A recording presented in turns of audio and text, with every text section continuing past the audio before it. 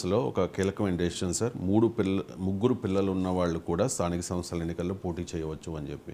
నాకు తెలిసి ఎన్టీఆర్ హయాంలో అనుకుంటా సార్ ఈ రూల్ పెట్టారు. ముగ్గురు పిల్లలు ఉంటే ఎన్నికల్లో పోటీ చేయకూడదు అని చెప్పి. దాన్ని క్యాన్సిల్ చేస్తూ ఒక కీలకమైన క్యాబినెట్ డెసిషన్ తీసుకుంది. సో ఈ డెసిషన్ మీద మీ కామెంట్ అంటే ఇప్పుడు పిల్లలు ఎంతమంది ఉన్న దాన్ని బట్టి వాళ్ళు ప్రజలకు సేవ చేయగలగలరా లేదా అనేది డిసైడ్ చేద్దామా? సో ఆ- రక ఇప్పుడు అలా అంటే ఎమ్మెల్యేకి మరి ఎంపీకి? సో అన్ని పదవులకు కూడా ఎంతమంది పిల్లలు ఉన్నారన్నది డిసిషన్ అంటే పిల్లలే లేరనుకోండి వాళ్ళకి ఇంక ఎక్కువ మార్కులు ఇద్దామా? వెయిటేజ్ పెళ్ళే కాని వాళ్ళకి ఇంక ఎక్కువ వెయిటేజ్ ఇద్దామా? అట్లా రాహుల్ గాంధీకి హైయెస్ట్ వెయిటేజ్ వస్తుంది ప్రైమ్ మినిస్టర్ అయ్యడానికి సో అందుకని పెళ్ళే చేసుకోలేదు కనుక పిల్లలే లేరు కనుక హైయెస్ట్ వెయిటేజ్ ఇద్దామా? సో మనకు అర్థం కావాల్సింది ఏంటంటే ప్రజలకు డిసెన్సిటీతో పాపులేషన్ అంటే అది కూడా ఎప్పుడు జనాభా పెరుగుతున్న సమయంలో డిసిన్సెంటివ్గా వచ్చింది. ఇప్పుడు ఏమంటున్నారు? ఆంధ్రప్రదేశ్లో జనాభా ఆశించిన స్థాయిలో లేదు. ఎందుకంటే యంగర్ వర్క్ ఫోర్స్ వెళ్ళిపోతున్నారని. అంటే below replacement level below replacement level ఏంటంటే జననాలు మరణాలు సమానంగా ఉంటే అది రిప్లేస్మెంట్ లెవెల్ అంటారు. అంటే ఎంతమంది యాడ్ అవుతున్నారో ఎంత అంతమంది సబ్ట్రాక్ట్ అవుతున్నారు. కానీ జననాలు తక్కువ ఉండి మరణాలు ఎక్కువ ఉన్నాయి అనుకోండి ఓవరాల్గా.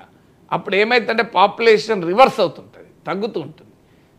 ఈ ఈ ఇప్పుడున్న డెమోగ్రఫిక్ ట్రాన్సిషన్ ఏంటి అంటే కొత్తగా జననాలు తక్కువ ఉంటున్నాయి దాంతో మ మనిషి సగటు జీవిత కాలం పెరుగుతోంది. ఓవరాల్గా పాపులేషన్లో నాన్ వర్కింగ్ ఏజ్ వాళ్ళ షేర్ పెరుగుతూ వస్తుంది. ఇది ఎకానమీలో ప్రొడక్టివిటీని దెబ్బతీసి ఎకానమీలో చాలా ఇబ్బందులు తీసుకొస్తుంది. ఇప్పుడు చైన్ జపాన్ అదే ఎదుర్కొంటుంది. జపాన్లో అయితే ఇప్పుడు సెవెంటీ ఇయర్స్ వాళ్ళు కూడా పనిచేసుకుంటూ కనబడతారు. అసలు వర్క్ ఫోర్స్ లేదు. పొలాలు వ్యవసాయం చేసేవారు లేక పొలాలు పడావుగా ఉండిపోతున్నాయి. మిషన్లు తప్ప పరిశ్రమల్లో కూడా రోబోట్లే పనిచేస్తున్నాయి ఎందుకంటే మనుషులు లేరు. పనిచేసే వయసులో ఉన్నవారు మనుషులే లేరు. సో ఆ సిచ్యువేషను మా మన దగ్గర కూడా వచ్చే ప్రమాదం ఉంది కొన్ని చోట్ల. బీహార్లో రాకపోవచ్చు ఆంధ్రప్రదేశ్లో రావచ్చు. అందుకే ఒకప్పుడు పిల్లలు ఎక్కువ ఉండడాన్ని నేరంగా చూసి డిసెన్సిటివ్గా చూసి పెట్టిన నిబంధన. ఇప్పుడు డెమోగ్రఫిక్ ట్రాన్సిషన్లో ఆ కాన్సెప్ట్కి వాల్యూ లేదు. ఎందుకంటే గతంలో చంద్రబాబు నాయుడు పిలిపించాడు పిల్లలు కనండి అని కూడా మీరు గమనిస్తే.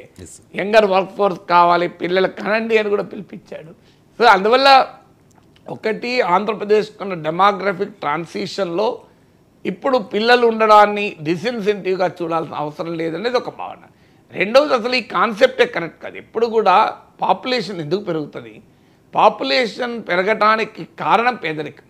మీరు ప్రపంచంలో ఎక్కడైనా చూడండి పాపుల్ సమాజం అభివృద్ధి అవుతున్న కొద్దీ ఎకానమీ డెవలప్ అవుతున్న కొద్దీ ఎడ్యుకేషన్ హెల్త్ ఇంప్రూవ్ అవుతున్న కొద్దీ ఫెర్టిలిటీ రేట్లు పడిపోతాయి. అంటే సంతాన సాఫల్య రేట్ అంటారు. అంటే ఒక కపుల్ సగటున ఇంతమంది పిల్లల్ని కనగలరు మీరు ఇలా కేరళలో ఫెర్టిలిటీ రేట్ అమెరికాతో కన్నా బెటర్గా ఉంది. ఎందుకుంది? ఆడ ఫిమేల్ ఎడ్యుకేషన్ ఉంది హెల్త్ ఉంది కనుక ఉంది. అందువల్ల ఎప్పుడు డెవలప్మెంట్ ద బెస్ట్ కాంట్రసెప్టివ్ అంటారు. అభివృద్ధిని మించిన మీ గర్భ నిరోధక మాత్రం లేదు అని.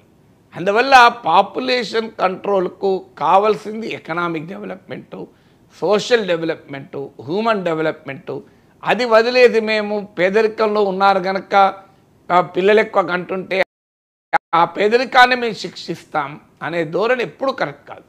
వరల్డ్ వైడ్గా మీకు పేద కంట్రీస్లో పేద ప్రజల్లో పేద వర్గాల్లోనే మీకు పాపులేషన్ గ్రోత్ రేట్ ఎక్కువ ఉంటుంది. మీరు ఎందుకు పేద రాష్ట్రాల్లోనే పాపులేషన్ గ్రోత్ రేట్ ఎక్కువ ఉంటుంది? కారణం డెవలప్మెంట్కు జనాభాకు ఒక లింక్ అది. సో ఇది అర్థం చేసుకోకుండా డిసిన్సెంటివ్స్ ద్వారా అంటే మీకు ముగ్గురు పిల్లలు ఉంటే ఎలక్షన్ల పోటీ చేయనీయం ఎలక్షన్ల పోటీ చేసేది better political system better governance ఇస్తామా లేదా అన్నది కానీ ఎంతమంది పిల్లలు ఉన్నారన్న డిసైడ్ చేయదు కదా. ఎంతమంది పిల్లలు ఉన్నారన్న వాడు ఎలక్షన్లో ఉండకూడదు అంటే ఇలా ఎక్కువ నలుగురు పిల్లలు ఉంటారు చాలా అద్భుతమైన ఎఫిషియెంట్ అనుకోండి సమాజానికి మంచి నాయకత్వం ఇచ్చేవాడు అనుకోండి ఏం వదులుకుందామా? ఏంది ఎక్కువ మంది పిల్లలు ఉండాలి ఐఏఎస్ ఆఫీసర్ ఉండొచ్చు ప్రభుత్వ ఉద్యోగం ఉండొచ్చు కానీ పద ప్రజాప్రతినిధులు కూడా అందువల్ల ఆ- ఆ లింక్ పెట్టడమే అర్థం లేదు. ఇప్పుడు ఆంధ్రప్రదేశ్లో ఉన్న స్పెసిఫిక్ సిచ్యువేషన్లో ఆ లింక్ ఇర్రేషనల్ ప్రభుత్వం భావించవచ్చు.